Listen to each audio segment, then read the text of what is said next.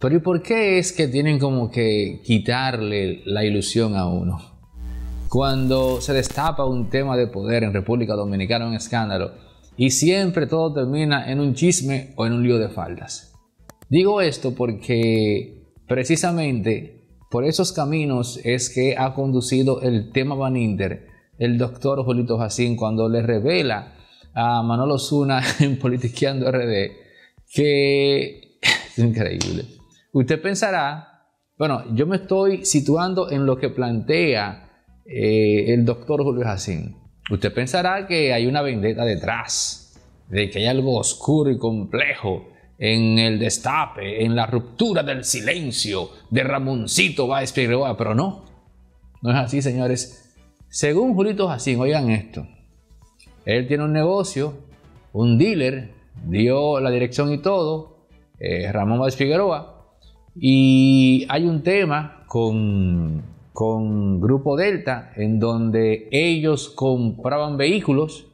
Según dice Julito Jacín, hubo un tema con los pagos de esos vehículos, del dealer que eh, los vehículos que compró ese dealer, que es propiedad de Ramoncito. Según dice él, él imagina o supone que a través de un testaferro le comienzan a cobrar. Ramoncito se enoja porque eh, se enoja porque él dice, bueno, pero si ustedes eh, los chancearon con 80 millones de dólares, ¿qué hacen ustedes importunándome por unos cuantos carros? Pero en esa misma línea comienzan entonces a afectar a la esposa de Ramoncito, con la cual él había pedido que no se metan. Estoy citando a Jolito Jacín. Y cuando eso se da, se rompe la soga por lo más débil, es entonces que Ramoncito Báez dice, no, pero espérate, ustedes compraron algo que yo le puse en las manos en 80 millones, 90 millones, solo dieron 10 y los 80.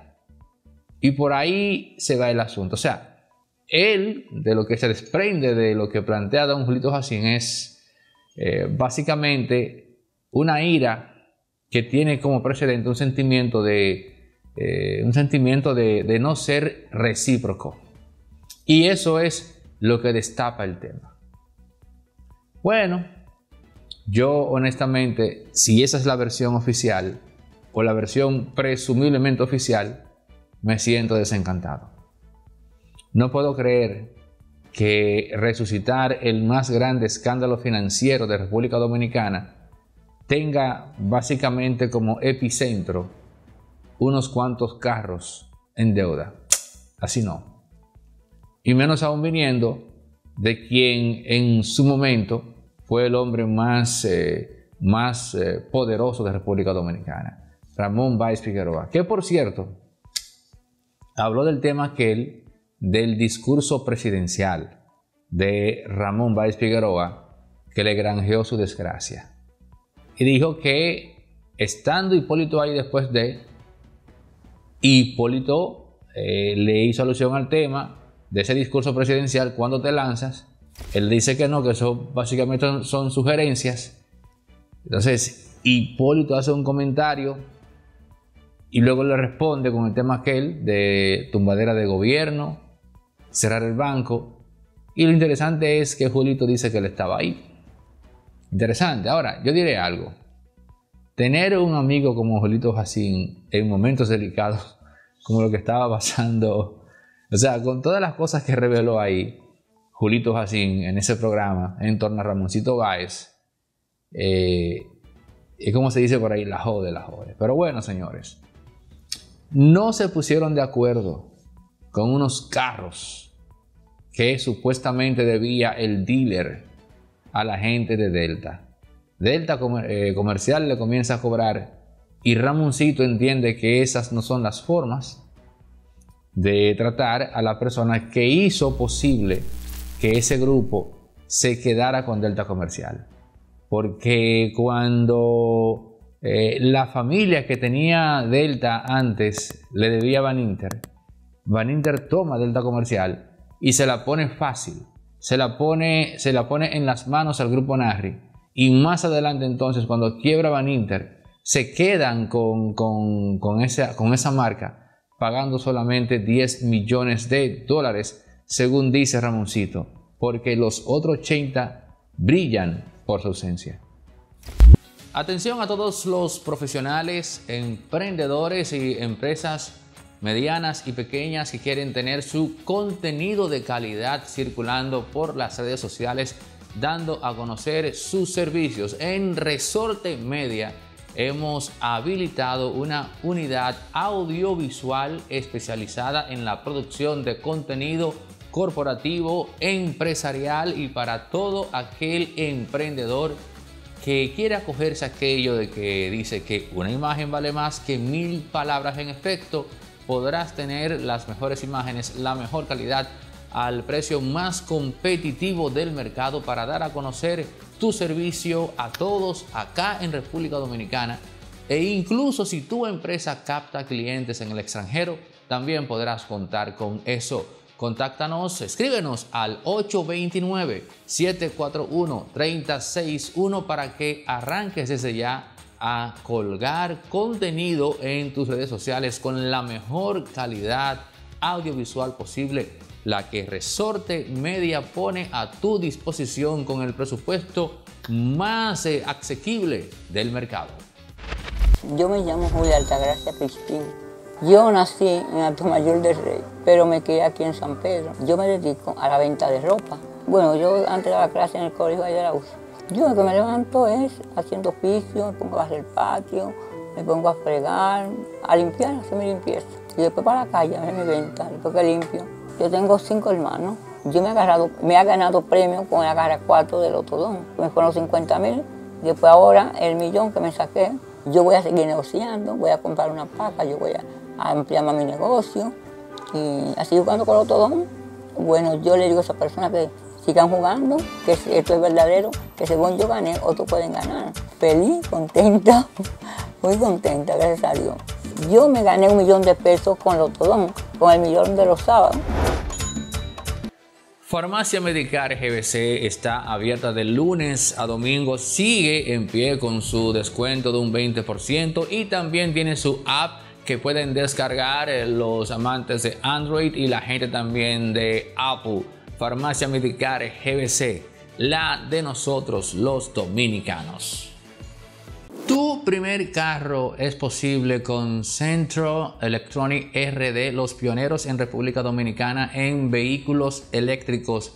Desastre de el consumo en combustible fósil y lleva, oigan esto que voy a decir, un consumo promedio de 10 o 15 mil pesos te puede quedar en un mes entre 500 y 1000 pesos si tu vehículo es eléctrico. Pero también Centro Electronic RD tiene, eh, tiene una flotilla vasta, extensa de vehículos para fines corporativos y empresariales. Centro Electronic RD, tu primer vehículo eléctrico totalmente para que la factura del combustible no sea una carga. Y para las empresas, tenemos camiones, tenemos vehículos tipo deliveries, camionetas, en fin, para que también el costo en combustible en grado amplio no sea una carga. Centro Electronic RD, teléfonos en pantalla para más información. Si vas de parte de Impolíticamente Correcto, tienes un descuento de 500 dólares en cada compra.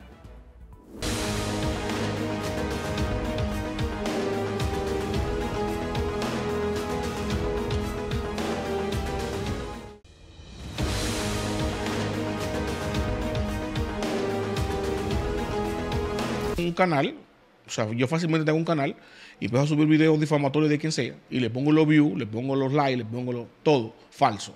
Porque no me interesa monetizarlo, sino posicionar la, idea de que ese contenido es valioso y se hizo viral. Habría que ver eso. Eh, eh, oye, esa, esa parte de que no le interesa monetizar es importante porque yo he visto que él ha tocado temas, por ejemplo, el tema haitiano, lo, lo toca de una forma que es imposible que YouTube no lo censure y si lo censura, entonces porque a él no su financiamiento no viene de YouTube. Exactamente. Por eso, por eso digo, hay que analizar el canal, hay que analizar eh, el tráfico real y, y, dónde fue creado.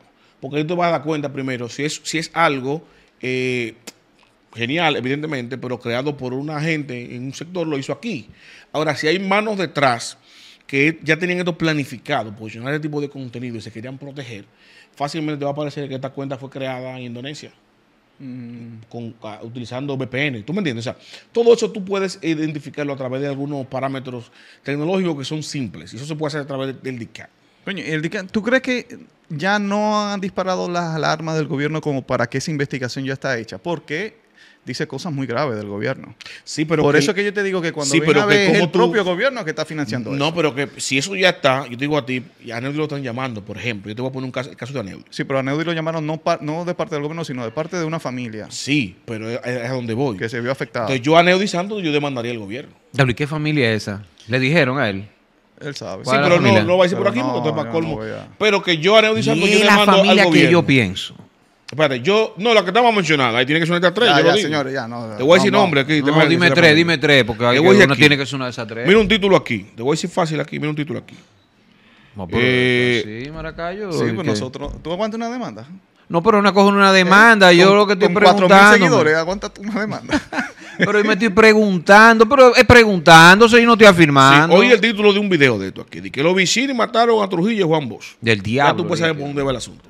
De dos tigres. Oye, que mataron a Juan Bosch. Y a, Tru- y a Trujillo, di que los vecinos. Mierda, pero mira.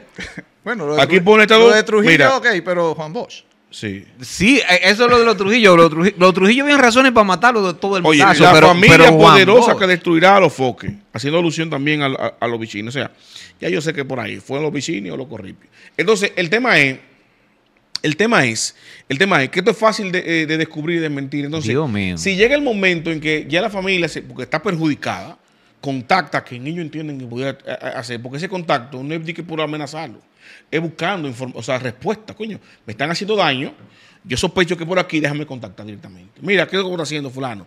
Y él diga, no, no soy yo, desmiéntelo públicamente, y ellos siguen elucubrando. Yo a Neudi, ¿qué es lo que digo? Si investigo en el DICA, ¿qué es lo que tiene ese Neudi? Y se lo voy a decir ahorita en privado. Ve tú al DICA.